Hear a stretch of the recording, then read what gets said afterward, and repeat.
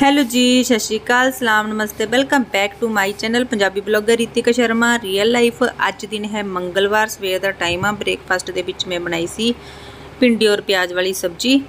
Breakfast ਹੋ ਚੁੱਕਾ ਹੈ ਤੇ ਕਿਚਨ ਦੀ ਸਾਫ਼ ਸਫ਼ਾਈ ਹੋ ਗਈ ਹੈ ਤੇ ਬੈੱਡਰੂਮ ਦੀ ਸਫ਼ਾਈ ਕੀਤੀ। ਦੋਨੋਂ ਬੈੱਡ ਦੀਆਂ ਚੱਦਰਾਂ ਸੀਗੀਆਂ, ਜਿਹੜੀ ਉਹ ਚੇਂਜ ਕੀਤੀਆਂ ਤੇ ਇੱਧਰ ਦੂਸਰਾ ਬੈੱਡ ਸੀ, ਉਹਦੀ ਵੀ ਕਰ ਦਿੱਤੀ ਹੈ ਚੇਂਜ ਤੇ ਹੁਣ ਮੈਂ ਲੱਗੀ ਆ ਝਾੜੂ ਲਗਾਉਣ। ਝਾੜੂ ਲਗਾਉਣ ਤੋਂ ਪਹਿਲਾਂ ਮੈਂ ਜਿਹੜੇ ਬੱਚਿਆਂ ਦੇ ਸ਼ੂਜ਼ ਸੀਗੇ ਬਾਹਰ ਉਹ ਵਾਲੇ ਰੱਖ ਰਹੀ ਆ ਤੇ ਬੱਚਿਆਂ ਦੇ ਜਿਹੜੇ ਸਕੂਲ ਦੇ ਸ਼ੂਜ਼ ਸੀਗੇ, ਛੋਟੇ ਵਾਲੇ ਤੇ ਵੱਡੇ ਦੇ ਤਾਂ ਹੈ ਨਹੀਂ।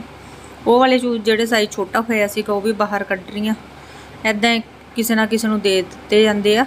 ਕੰਮ ਆ ਜਾਂਦੇ ਆ ਕਿਸੇ ਦੇ, ਹੁਣ ਇਹਦੇ ਤਾਂ ਆਂਦੇ ਨਹੀਂ ਸਾਈਜ਼ ਛੋਟਾ ਹੋ ਗਿਆ ਤੇ ਮੈਂ ਲਵ ਨੂੰ ਬੁਲਾਇਆ ਕਿ ਆਪਣੇ ਸ਼ੂਜ਼ ਦੇਖ। ਬਿਲਕੁਲ ਨਿਊ ਸ਼ੂਜ਼ ਸੀਗੇ, ਬਸ ਸਾਈਜ਼ ਛੋਟਾ ਹੋਇਆ ਸੀ। ਕਿ ਤੇਰੇ ਆਂਦੇ ਆ ਤੇ ਲਵ ਕਹਿੰਦਾ, ਨਹੀਂ, ਇਹ ਸਾਈਜ਼ ਛੋਟਾ, ਫਿਰ ਮੈਂ ਸੋਚਿਆ ਕਿ ਕਿਸੇ ਨੂੰ ਦੇ ਦੂੰਗੀ ਤੇ ਅੱਜ ਇਹ ਵਾਲਾ ਕੰਮ ਵੀ ਕਰ ਰਹੀ ਆ ਕਈ ਦਿਨਾਂ ਤੋਂ ਮੈਂ ਵੀਡੀਓ ਨਹੀਂ ਪਾ ਰਹੀ ਕਿਉਂਕਿ ਮੈਂ ਜੋ ਵੀ ਘਰ ਦਾ ਖਲਾਰਾ ਸੀਗਾ, ਪੇਟੀ ਵੇਚੀ ਸੀ ਨਾ, ਪੇਟੀ ਦੇ ਬਦਲੇ ਮੈਂ ਅਲਮਾਰੀ ਲੈ ਕੇ ਆਈ ਆ ਜਾਨੀ ਕਿ ਪੇਟੀ ਚੇਂਜ ਕਰਕੇ ਅਲਮਾਰੀ ਲੈ ਕੇ ਆਈ ਆ ਤੇ ਅਲਮਾਰੀ ਦਾ ਖਲਾਰਾ ਸੀਗਾ, ਪੇਟੀ ਦਾ ਖਲਾਰਾ ਸੀਗਾ। ਜਾਨੀ ਕਿ ਸਾਰੇ ਬੈੱਡ ਵਗੈਰਾ, ਅਲਮਾਰੀਆਂ ਸਾਰੀਆਂ ਇੱਧਰ ਉੱਧਰ ਸੈਟਿੰਗ ਕੀਤੀ, ਇਸ ਕਰਕੇ ਕੋਈ ਵੀਡੀਓ ਨਹੀਂ ਪਾ ਪਾਈ। ਤੇ ਇਹ ਵਾਲੇ ਬੱਚਿਆਂ ਦੇ ਸਲੀਪਰ ਸੀਗੇ, ਮੈਂ ਉਹ ਵੀ ਦਿਖਾ ਰਹੀ ਆ ਕਿ ਸਲੀਪਰ ਤੁਸੀਂ ਪਾਉਂਦੇ ਤਾਂ ਹੈ ਨਹੀਂ, ਬਿਲਕੁਲ ਨਿਊ ਪਿਆ, ਇਹ ਵੀ ਕਿਸੇ ਨੂੰ ਦੇ ਦਿੰਨੇ ਆ ਐਦਾਂ ਹੈ ਜਦੋਂ ਤੁਸੀਂ ਨਹੀਂ ਪਾਣੇ ਕਿਸੇ ਹੋਰ ਦੇ ਕੰਮ ਆ ਜਾਣ, ਕਿਸੇ ਜ਼ਰੂਰਤਮੰਦ ਨੂੰ ਦੇ ਦਿਓ ਚੀਜ਼।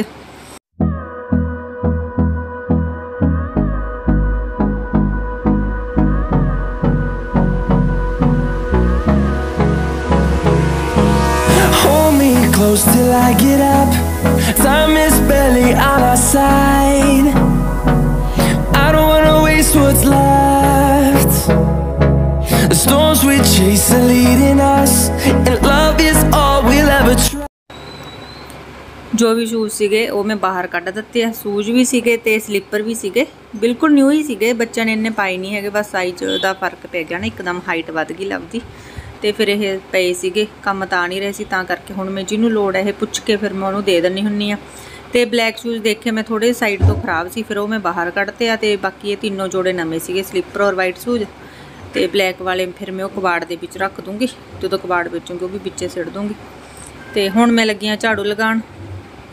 ਘਰ ਦੇ ਵਿੱਚ ਮੈਂ ਜਿੱਦਾਂ ਕੱਪੜਾ ਹੋਵੇ, ਕੋਈ ਵੀ ਸਮਾਨ ਹੋਵੇ, ਜੋ ਵੀ ਹੁੰਦਾ, ਮੈਂ ਨਾਲ ਨਾਲ ਕੱਢਦੀ ਵੀ ਰਹਿੰਦੀ ਆ ਫਿਰ ਵੀ ਹੈ ਨਾ, ਕਿਤੋਂ ਨਾ ਕਿਤੋਂ ਸਮਾਨ ਨਿਕਲ ਹੀ ਜਾਂਦਾ ਹੈ। ਹੁਣ ਜਿੱਦਾਂ ਮੈਂ ਪੇਟੀ ਦਾ ਸਮਾਨ ਸਾਰਾ ਬੈੱਡ ਦੇ ਵਿੱਚ ਸੈੱਟ ਕੀਤਾ, ਅਲਮਾਰੀਆਂ ਦੇ ਵਿੱਚ ਸੈੱਟ ਕੀਤਾ, ਅਲਮਾਰੀਆਂ ਦੀ ਅਦਲਾ ਬਦਲੀ ਇਦਾਂ ਕਰਦੇ ਕਰਦੇ ਮੈਨੂੰ ਕਿੰਨੇ ਦਿਨ ਬੀਤ ਗਏ, ਬਹੁਤ ਜ਼ਿਆਦਾ ਥਕਾਵਟ ਹੋ ਰਹੀ ਸੀ ਤੇ ਵੀਡੀਓ ਬਣਾਉਣ ਦੀ ਹਿੰਮਤ ਨਹੀਂ ਸੀਗੀ ਕਿਉਂਕਿ ਹਰ ਪਾਸੇ ਖਲਾਰਾ ਸੀਗਾ। ਜਿੰਨਾ ਵੀ ਸਾਰਾ ਸਮਾਨ ਸੀਗਾ, ਸਾਰੇ ਸਮਾਨ ਨੂੰ ਦੁਬਾਰਾ ਤੋਂ ਸੈੱਟ ਕੀਤਾ ਇੱਧਰ ਉੱਧਰ ਰੱਖ ਕੇ ਜਗ੍ਹਾ ਬਣਾਈ ਕਿਉਂਕਿ ਪੇਟੀ ਦੇ ਵਿੱਚ ਕਿੰਨਾ ਸਮਾਨ ਸੀ, ਰਜਾਈਆਂ, ਕੰਬਲ ਵਗੈਰਾ, ਉਹ ਸਾਰੇ ਸੈੱਟ ਕੀਤੇ। ਐਦਾਂ ਸੋਚ ਲਓ ਕਿ ਕਮਲੀ ਹੋ ਗਈ ਮੈਂ ਸਮਾਨ ਸੈੱਟ ਕਰ ਕਰਕੇ ਉਦਾਂ ਪਤਾ ਨਹੀਂ ਚੱਲਦਾ ਘਰ 'ਚ ਕਿੰਨਾ ਸਮਾਨ ਆ, ਪਰ ਜਦੋਂ ਸੈਟਿੰਗਾਂ ਕਰਨੀਆਂ ਪੈਂਦੀਆਂ ਨੇ, ਉਦੋਂ ਪਤਾ ਚੱਲਦਾ ਕਿ ਘਰ ਕਿੰਨਾ ਭਰਿਆ ਹੋਇਆ। ਮੇਰੀ ਕੋਸ਼ਿਸ਼ ਇਹੀ ਹੁੰਦੀ ਹੈ ਕਿ ਫਾਲਤੂ ਸਮਾਨ ਘਰ 'ਚ ਨਾ ਹੋਵੇ, ਪਰ ਫੇਰ ਵੀ ਬਹੁਤ ਸਮਾਨ ਹੋ ਜਾਂਦਾ। ਪਤਾ ਨਹੀਂ ਕਿੱਦਾਂ ਹੋ ਜਾਂਦਾ, ਰੱਬ ਜਾਣੇ। ਨਾਲੇ ਮੈਂ ਨਾਲ ਨਾਲ ਕੱਢਦੀ ਰਹਿੰਦੀ ਆ ਬਸ ਹੁਣ ਮੈਂ ਲਗਾ ਰਹੀ ਆ ਫਟਾਫਟ ਝਾੜੂ। ਹਵਾ ਚੱਲ ਰਹੀ ਸੀ, ਬਹੁਤ ਤੇਜ਼। ਮੈਂ ਝਾੜੂ ਲਗਾ ਰਹੀ ਹਾਂ ਫਿਰ ਪਿੱਛੇ ਹੋ ਜਾਂਦਾ। ਪਹਿਲਾਂ ਤਾਂ ਮੈਂ ਮੋਟਾ ਮੋਟਾ ਜਿਹੜਾ ਕੂੜਾ ਹੁੰਦਾ ਹੈ ਫਟਾਫਟ ਝਾੜੂ ਦੇ ਨਾਲ ਇਕੱਠਾ ਜਾ ਕਰਕੇ ਉਹ ਡਸਟਬਿਨ 'ਚ ਪਾ ਦਿੱਤਾ। ਤੇ ਹੁਣ ਮੈਂ ਦੁਬਾਰਾ ਲਗਾ ਰਹੀ ਹਾਂ ਝਾੜੂ, ਤਿੰਨ ਚਾਰ ਵਾਰ ਝਾੜੂ ਕੱਢਿਆ ਤਾਂ ਕਿਤੇ ਜਾ ਕੇ ਝਾੜੂ ਲੱਗਿਆ ਕਿਉਂਕਿ ਹਵਾ ਦੇ ਨਾਲ ਵਾਪਸ ਆਈ ਜਾਂਦਾ ਸੀ।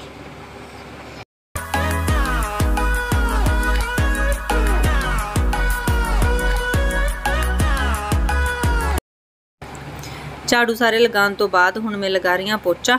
ਤੇ ਕਈ ਦਿਨਾਂ ਤੋਂ ਕੰਮ ਕਾਫੀ ਮੇਰਾ ਉਲਝਿਆ ਹੋਇਆ ਸੀਗਾ ਬਹੁਤ ਜ਼ਿਆਦਾ, ਕਿਉਂਕਿ ਪੌੜੀਆਂ ਚੜ ਉੱਤਰ ਕਰਨਾ ਤੇ ਹਰ ਸਮਾਨ ਦੀ ਸੈਟਿੰਗ ਕਰਨੀ। ਹੁਣ ਬੱਚੇ ਮੇਰੇ ਨਾਲ ਸਮਾਨ ਰਖਾ ਤਾਂ ਦੋਗੇ ਪਰ ਜੋ ਵੀ ਸੈੱਟ ਕਰਨਾ, ਕਿਹੜਾ ਸਮਾਨ ਕਿੱਥੇ ਰੱਖਣਾ, ਜਿੱਦਾਂ ਕੋਈ ਸਮਾਨ ਪਹਿਲਾਂ ਚੱਕਣ ਵਾਲਾ ਹੁੰਦਾ, ਕੋਈ ਦੇਰ 'ਚ ਕੰਮ ਆਉਂਦਾ ਇਦਾਂ ਉਸ ਹਿਸਾਬ ਨਾਲ ਹਰ ਕੱਪੜੇ ਨੂੰ ਰੱਖਿਆ। ਤੇ ਇਹਨਾਂ ਕੰਮਾਂ ਦੇ ਵਿੱਚ ਬਹੁਤ ਦਿਨ ਮੇਰੇ ਖਰਾਬ ਹੋਇਆ। ਥੋੜਾ ਥੋੜਾ ਕੰਮ ਕਰਦੇ ਕਰਦੇ ਵਿੱਚ ਨੂੰ ਮੈਂ ਰਾਤ ਨੂੰ ਵੀ ਕਰਦੀ ਰਹੀ ਹਾਂ ਸੈਟਿੰਗ ਕਿਉਂਕਿ ਦੋਨੋਂ ਪਾਸੇ ਦਾ ਉਲਝ ਗਿਆ ਸੀ। ਹਰ ਬੈੱਡ ਦਾ ਬਾਕਸ ਹੈ ਜੋ ਵੀ ਇਹ ਸੈਟੀਆਂ ਸਾਰੀਆਂ ਸਾਫ਼ ਕੀਤੀਆਂ। ਮੈਂ ਸਾਰੇ ਕੰਮ ਕੀਤੇ ਇਹ, ਜੋ ਵੀ ਦੀਵਾਲੀ ਦੇ ਟਾਈਮ ਕਰਦੀ ਹੁੰਦੀ ਆ ਨਾ ਮੈਂ, ਸਾਫ਼ ਸਫ਼ਾਈ ਬੈੱਡ ਵੁੱਡ ਦੀ, ਉਹ ਵਾਲੀ ਮੈਂ ਕਰਤੀ। ਤੇ ਜਦੋਂ ਦੀਵਾਲੀ ਆਊਗੀ, ਉਦੋਂ ਦੇਖਾਂਗੇ, ਜਦੋਂ ਮੂਡ ਬਣ ਗਿਆ, ਫਿਰ ਇੱਕ ਵਾਰ ਚੈੱਕ ਕਰ ਲੂੰਗੀ ਸਾਰੇ ਬੈੱਡ ਸੈਟੀਆਂ ਵੀ ਕੋਈ ਫालतू ਸਮਾਨ ਤਾਂ ਨਹੀਂ ਹੈਗਾ ਕੱਢਣ ਵਾਲਾ।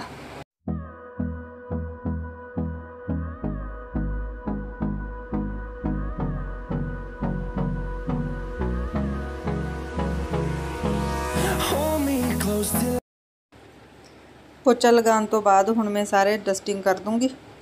ਤੇ ਮੈਂ ਫਟਾਫਟ ਲੱਗੀ ਹੋਈ ਸੀ ਸਾਫ਼ ਸਫ਼ਾਈ ਤੇ। ਤੇ ਅੱਜ ਸਲਾਹ ਸੀਗੀ ਕਿ ਲਵ ਦੇ ਸਕੂਲ ਜਾਣਾ। ਲਵ ਦੀ ਨਿਊ ਐਡਮਿਸ਼ਨ ਹੋਣੀ ਹੈ ਜਿਹੜਾ ਪਿਛਲਾ ਸਕੂਲ ਸੀਗਾ ਉਹ 10th ਤੱਕ ਦਾ ਸੀ। ਤੇ ਹਿਮਾਂਸ਼ੂ ਨੂੰ ਵੀ 10th ਤੱਕ ਉਧਰ ਕਰਾ ਕੇ ਫਿਰ ਇੱਧਰ ਸਕੂਲ 'ਚ ਪਾਇਆ ਸੀ। ਉਸੇ ਸਕੂਲ 'ਚ ਹੁਣ ਲਵ ਦੀ ਐਡਮਿਸ਼ਨ ਕਰਾਣੀ ਸੀ।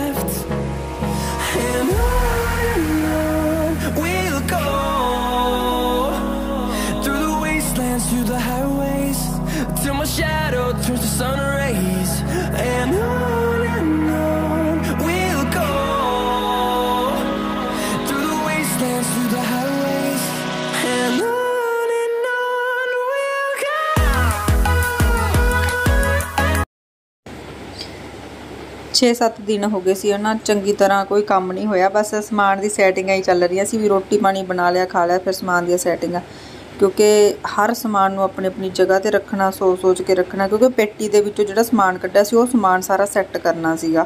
ਇੱਕ ਤਾਂ ਹੁੰਦਾ ਉਹ ਸੈਟਿੰਗ ਕਰ ਲਓ, ਇੱਕ ਹੁੰਦਾ ਕਿ ਸਮਾਨ ਦੇ ਲਈ ਜਗ੍ਹਾ ਬਣਾ ਕੇ ਫਿਰ ਸਮਾਨ ਰੱਖਣਾ। ਪੇਟੀ ਦੇ ਵਿੱਚ ਇੰਨਾ ਸਮਾਨ ਸੀਗਾ, ਪੇਟੀ ਨੇ ਜਗ੍ਹਾ ਘੇਰੀ ਹੋਈ ਸੀ, ਹੁਣ ਉਹ ਕਮਰਾ ਤਾਂ ਖੁੱਲਾ ਹੋ ਗਿਆ। ਫਿਰ ਉਹ ਅਲਮਾਰੀ ਮੈਂ, ਜਿਹੜੀ ਮੇਰੀ ਅਲਮਾਰੀ ਸੀਗੀ ਉਹ ਮੈਂ ਉੱਪਰ ਸ਼ਰਮਾ ਜੀ ਦੇ ਲਈ ਰੱਖਤੀ ਆ। ਤੇ ਮੇਰੇ ਵਾਲੀ ਜਿਹੜੀ ਆ ਗਈ ਆ, ਉਹ ਮੈਂ ਦੂਸਰੀ ਲੈ ਕੇ ਆਈ ਆ, ਉਹ ਵੀ ਦਿਖਾਉਂਗੀ। ਅੱਜ ਨਹੀਂ, ਫਿਰ ਜਦੋਂ ਸੈਟਿੰਗ ਕਰੂੰਗੀ ਕੱਪੜੇ ਕੁੱਪੜਿਆਂ ਦੀ, ਉਦੋਂ ਦਿਖਾਉਂਗੀ ਕੀ ਲੈ ਕੇ ਆਈ ਆ। ਤੇ ਅੱਜ ਤਾਂ ਟਾਈਮ ਹੀ ਨਹੀਂ ਸੀਗਾ ਮੇਰੇ ਪਾਸ। ਤੇ ਬਸ ਹੁਣ ਚੰਗੀ ਤਰ੍ਹਾਂ ਸਫਾਈਆਂ ਕਰ ਦੂੰਗੀ ਮੈਂ।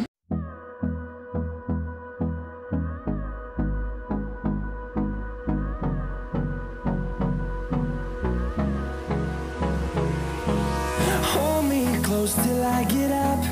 Time is barely on our side. I don't wanna waste what's left. The storms we chase are leading us, and love is all we'll ever trust. Yeah, no, I don't wanna waste what. Machine ਦੇ ਉੱਤੇ ਵੀ ਮੈਂ dust ਜੀ ਪੈ ਰਹੀ ਸੀ ਜਿਹੜੀ ਕੱਪੜਾ ਮਾਰਤਾ window ਤੇ ਵੀ ਤੇ ਇੱਧਰ ਸਾਈਡ ਤੇ ਜਿਹੜੀ ਮੇਰੀ ਅਲਮਾਰੀ ਸੀਗੀ ਗ੍ਰੇ ਅਲਮਾਰੀ ਦੇ ਨਾਲ ਆ ਯੈਲੋ ਵਾਲੀ, ਇਹ ਮੇਰੀ ਸੀਗੀ। ਤੇ ਇਹ ਮੈਂ ਸ਼ਰਮਾ ਜੀ ਦੇ ਕੱਪੜੇ ਰੱਖਤੇ ਉੱਪਰ, ਪਹਿਲਾਂ ਸ਼ਰਮਾ ਜੀ ਦੇ ਕੱਪੜੇ ਨੀਚੇ ਹੁੰਦੇ ਸੀ ਨਾ, ਤੇ ਹੁਣ ਇਹ ਉੱਪਰ ਹੀ ਰੱਖਤੇ ਆ, ਕਿ ਚੱਕ ਧਰ ਦਾ ਕੰਮ ਨਾ ਹੋਵੇ। ਨਹੀਂ ਤਾਂ ਫਿਰ ਨੀਚੇ ਲੈ ਕੇ ਜਾਣੇ ਪੈਂਦੇ ਸੀ ਕੱਪੜੇ, ਤੇ ਜਿਹੜੀ ਸ਼ਰਮਾ ਜੀ ਦੀ ਅਲਮਾਰੀ ਸੀ, ਉਹਦੇ ਵਿੱਚ ਮੈਂ ਜਿਹੜਾ ਪੇਟੀ ਦਾ ਸਮਾਨ ਸੀਗਾ, ਉਹ ਸੈੱਟ ਕੀਤਾ ਹੈ ਹਲੇ ਥੋੜਾ ਜਿਹਾ ਰਹਿੰਦਾ ਹੈ ਕਰਨਾ ਸੈਟਿੰਗ ਜੀ। ਤੇ ਉਹ ਕਰੂੰਗੀ, ਕਿਉਂਕਿ ਮੈਂ ਥੱਕ ਬਹੁਤ ਜ਼ਿਆਦਾ ਗਈ ਸੀ। ਫਿਰ ਮੈਂ ਸੋਚਿਆ ਕਿ ਚਲੋ ਜਿਹੜਾ ਮੇਨ ਕੰਮ ਸੀ ਹੋ ਗਿਆ। ਹੁਣ ਤਾਂ ਛੋਟੇ ਛੋਟੇ ਕੰਮ ਨੇ ਤਾਂ ਹੁੰਦੇ ਰਹਿਣਗੇ। ਤੇ ਇੱਧਰ ਜਿਹੜੀ ਇੰਟਰਲੋਕ ਵਾਲੀ ਮਸ਼ੀਨ ਆ, ਇਹ ਜਦੋਂ ਤੱਕ ਸਿਲਾਈ ਦਾ ਕੰਮ ਹੋਊਗਾ, ਉੱਪਰ ਹੋਊਗੀ, ਫਿਰ ਇਹ ਨੀਚੇ ਚਲ ਜੂਗੀ। ਤੇ ਹੁਣ ਤਾਂ ਜਗ੍ਹਾ ਤੁਰਨ ਫਿਰਨ ਨੂੰ ਹੋ ਗਈ, ਨਹੀਂ ਤਾਂ ਸਾਰੇ ਪਾਸੇ ਸਮਾਨ ਹੀ ਸਮਾਨ ਪਿਆ ਸੀ, ਬਹੁਤ ਖਿਲ ਰਿਹਾ।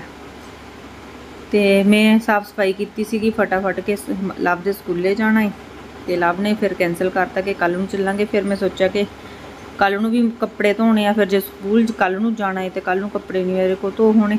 ਤੇ ਅੱਜ ਕੱਪੜਿਆਂ ਦਾ ਕੰਮ ਵੀ ਨਿਪਟਾ ਦੇਣੀ ਆ, ਨਹੀਂ ਤਾਂ ਮੈਂ ਝਾੜੂ ਪੋਚਾ ਕਰਦੀ ਹੁੰਦੀ ਆ ਬਾਅਦ ਵਿੱਚ।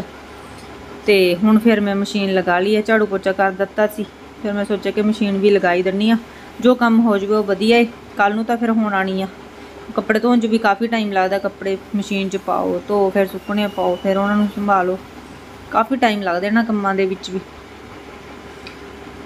ਬਾਕੀ ਕੰਮ ਤਾਂ ਮੇਰੇ ਹੋ ਗਏ ਸੀਗੇ ਨੀਚੇ ਦਾ ਹਲੇ ਮੈਂ ਜੋ ਵੀ ਖਲਾਰਾ ਹੈਗਾ ਸੀ ਉਹ ਮੈਂ ਹਲੇ ਕਰਨਾ ਨਹੀਂ ਸੀਗਾ। ਅਗਰ ਮਸ਼ੀਨ ਨਾਲ ਲਗਾਉਂਦੀ ਫਿਰ ਨੀਚੇ ਜਾਣਾ ਸੀ ਤੇ ਹੁਣ ਮੈਂ ਫਿਰ ਪਹਿਲਾਂ ਕੱਪੜਿਆਂ ਦਾ ਹੀ ਕੰਮ ਨਿਪਟਾਉਂਗੀ ਕਿਉਂਕਿ ਬੱਦਲ ਰੋਜ਼ ਹੋ ਜਾਂਦਾ ਮੀਂਹ ਵੀ ਪੈਂਦਾ ਹੈ ਅੱਜ ਵੀ ਬੱਦਲ ਹੋ ਰਿਹਾ ਸੀ ਲੱਗ ਰਿਹਾ ਸੀ ਜਦ ਮਰਜ਼ੀ ਮੀਂਹ ਆ ਜਾਊਗਾ। ਤੇ ਫਿਰ ਦੋ ਪਾਸੇ ਮਨ ਹੋ ਰਿਹਾ ਸੀ ਮਸ਼ੀਨ ਲਗਾਵਾਂ ਨਾ ਲਗਾਵਾਂ ਫਿਰ ਮੈਂ ਸੋਚਿਆ ਕਿ ਲਗਾਈ ਦਿੰਨੇ ਹਾਂ, ਜੋ ਹੁੰਦਾ ਹੋ ਹੀ ਜਾਊਗਾ। ਤੇ ਬਸ ਹੁਣ ਮੈਂ ਨਾਲ ਨਾਲ ਕੱਪੜੇ ਧੋਈ ਜਾਊਂਗੀ। ਹੋਰ ਕੰਮ ਤਾਂ ਮੇਰੇ ਸਾਰੇ ਹੋ ਗਏ ਸੀ ਬਸ ਇਹੀ ਕੰਮ ਸੀਗਾ ਹੁਣ ਕੱਪੜਿਆਂ ਦਾ।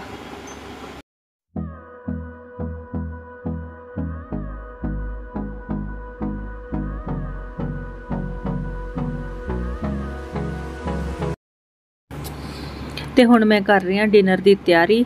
ਅੱਜ ਮੈਂ ਬਣਾਈ ਸੀ ਮੂੰਗੀ ਮਸਰੀ, ਜਿਹੜੀ ਦਲੀ ਹੋਈ ਦਾਲ ਹੁੰਦੀ ਆ ਪੀਲੀ ਵਾਲੀ। ਉਹ ਵਾਲੀ ਦੇ ਵਿੱਚ ਥੋੜੀ ਜਿਹੀ ਚਣਿਆਂ ਦੀ ਦਾਲ ਪਾ ਕੇ ਦਲੀ ਹੋਈ ਚਣਿਆਂ ਦੀ ਦਾਲ। ਤੇ ਹੁਣ ਮੈਂ ਕਰ ਰਹੀ ਹਾਂ ਉਹਨੂੰ ਫਰਾਈ। ਬਿਲਕੁਲ ਪਤਲੀ ਜੀ ਬਣਾਈ ਸੀ ਥੋੜੀ ਜੀ ਤੇ ਤੇਲ ਪਾਇਆ ਸੀਗਾ ਰਿਫਾਈਂਡ ਹੁੰਦਾ ਜਿਹੜਾ ਰਿਫਾਈਂਡ ਪਾਇਆ ਸੀ। ਉਹਦੇ ਵਿੱਚ ਫਿਰ ਗਰਮ ਹੋਣ ਤੋਂ ਬਾਅਦ ਹਿੰਗ, ਜੀਰਾ, ਪਿਆਜ਼ ਪਿਆਜ਼ ਹਲਕੇ ਬਰਾਊਨ ਹੋਣ ਤੋਂ ਬਾਅਦ ਬਾਕੀ ਆਪਣੇ ਜਿਹੜੇ ਡੇਲੀ ਦੇ ਮਸਾਲੇ ਹੁੰਦੇ ਆ, ਨਮਕ, ਮਿਰਚ ਹਲਦੀ, ਗਰਮ ਮਸਾਲਾ ਥੋੜੀ ਕਸੂਰੀ ਮੇਥੀ ਤੇ ਹੁਣ ਟਮਾਟਰ ਪਾ ਦੇਣੇ ਆ। ਬਸ ਬਹੁਤ ਸਿੰਪਲ ਜਿਹਾ ਤੜਕਾ ਮੈਂ ਲਗਾਨੀ ਹੁੰਨੀ ਆ ਤੇ ਦਾਲ ਬਹੁਤ ਟੇਸਟੀ ਬਣੀ ਸੀ। ਮਸਾਲਾ ਬਸ ਚੰਗੀ ਤਰ੍ਹਾਂ ਭੁੰਨਿਆ ਹੋਣਾ ਚਾਹੀਦਾ, ਜਿੱਦਾਂ ਮਰਜ਼ੀ ਆਪ ਤੜਕਾ ਲਗਾਓ, ਮਸਾਲਾ ਭੁੰਨਿਆ ਹੋਣਾ ਚਾਹੀਦਾ। ਬਿਲਕੁਲ ਪਤਲੀ ਦਾਲ ਬਣਾਈ ਸੀ ਮੈਂ। ਤੇ ਦਾਲ ਦਾ ਕਲਰ ਦੇਖੋ ਕਿੰਨਾ ਵਧੀਆ ਆ ਜਿੰਨੀ ਦੇਖਣ 'ਚ ਸੋਹਣੀ ਲੱਗ ਰਹੀ ਆ ਨਾ ਉਨੀ ਸਵਾਦ ਵੀ ਸੀਗੀ। ਬਸ ਮੈਂ ਅੱਜ ਹਲਕਾ ਫੁਲਕਾ ਜਿਹਾ ਇਹੀ ਬਣਾਇਆ ਸੀ। ਰਾਤ ਨੂੰ ਮੇਰੀ ਜ਼ਿਆਦਾਤਰ ਇਹ ਹੁੰਦੀ ਆ ਵੀ ਤਰੀ ਵਾਲੀ ਉਹ ਚੀਜ਼ ਹੋਵੇ, ਸੁੱਕੀ ਘੱਟ ਹੋਵੇ, ਪਰ ਕਦੀ ਕਦਾਈ ਸੁੱਕੀ ਵੀ ਬਣਾਉਣੀ ਪੈ ਜਾਂਦੀ ਹੈ ਜੇ ਤਰੀ ਵਾਲੀ ਦਾ ਮਨ ਨਾ ਹੋਵੇ। ਡਿਨਰ ਆਪਣਾ ਇਹੀ ਹੈ ਜੀ ਸਿੰਪਲ ਫੁਲਕੇ ਆ, ਸਿਰਕੇ ਵਾਲੇ ਪਿਆਜ਼ ਸੀਗੇ, ਦਾਲ ਸੀਗੀ ਔਰ ਦਹੀਂ ਸੀਗਾ, ਬਸ। ਸਭ ਦਾ ਡਿਨਰ ਹੋ ਚੁੱਕਾ ਤੇ ਹੁਣ ਮੈਂ ਲੱਗੀ ਹਾਂ ਕਿਚਨ ਦੀ ਸਾਫ਼ ਸਫ਼ਾਈ ਕਰਨ। ਉਸ ਤੋਂ ਪਹਿਲਾਂ ਮੈਂ ਪਹਿਲ ਸਟਫੀ ਨੂੰ ਪਾਉਂਗੀ ਰੋਟੀ। ਸਭ ਨੇ ਰੋਟੀ ਖਾ ਲਈ ਆ ਤੇ ਹੁਣ ਬਸ ਸਟਫੀ ਦੀ ਵਾਰੀ ਆ। ਐਦਾਂ ਹੁੰਦਾ ਵੀ ਥੋੜੀ ਠੰਡੀ ਹੋ ਜਾਂਦੀ ਆ, ਉਹਨੂੰ ਫੇਰ ਪਾਣੇ ਆ ਤੇ ਨਹੀਂ ਤਾਂ ਉਹਦੀ ਜੀਭ ਸੜ ਜੂਗੀ। ਹੁਣ ਮੈਂ ਉਹਨੂੰ ਰੋਟੀ ਪਾ ਦੂੰਗੀ, ਉਸ ਤੋਂ ਬਾਅਦ ਕਰੂੰਗੀ ਕਿਚਨ ਦੀ ਸਾਫ਼ ਸਫ਼ਾਈ।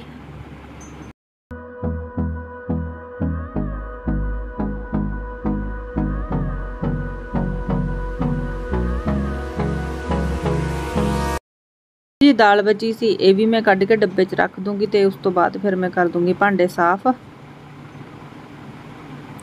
ਥੋੜੀ ਜਿਹੀ ਬਚੀ ਸੀਗੀ, ਇਹ ਸਵੇਰੇ ਪਰਾਂਠੇ ਬਣ ਜਾਣਗੇ ਦਾਲ ਵਾਲੇ ਆਟੇ ਦੇ ਵਿੱਚ ਗੁੰਨ ਕੇ। ਤੇ ਬਸ ਹੁਣ ਮੈਂ ਫਟਾਫਟ ਭਾਂਡੇ ਸਾਫ਼ ਕਰ ਰਹੀ ਹਾਂ।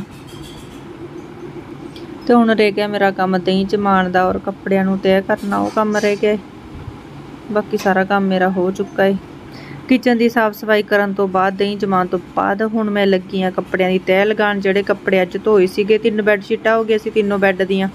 ਬਸ ਹੁਣ ਇਹਨਾਂ ਨੂੰ ਫਟਾਫਟ ਤੈਅ ਲਗਾ ਕੇ ਮੇਰੇ ਕੰਮ ਸਾਰੇ ਖਤਮ ਹੋ ਜਾਣੇ ਫਿਰ ਬ੍ਰਸ਼ ਵਗੈਰਾ ਕਰਕੇ ਚੇਂਜ ਕਰਕੇ ਫਿਰ ਆਪਾਂ ਸੋਣਾ ਹੈ ਅਗਰ ਆਪ ਜੀ ਨੂੰ ਮੇਰੀ ਅੱਜ ਦੀ ਵੀਡੀਓ ਵਧੀਆ ਲੱਗੀ ਪਲੀਜ਼ ਲਾਈਕ ਸ਼ੇਅਰ ਸਬਸਕ੍ਰਾਈਬ ਜ਼ਰੂਰ ਕਰ ਲਿਓ। ਖੁਸ਼ ਰਹੋ, ਆਪਣਾ ਤੇ ਆਪਣੀ ਫੈਮਿਲੀ ਦਾ ਖਿਆਲ ਰੱਖੋ।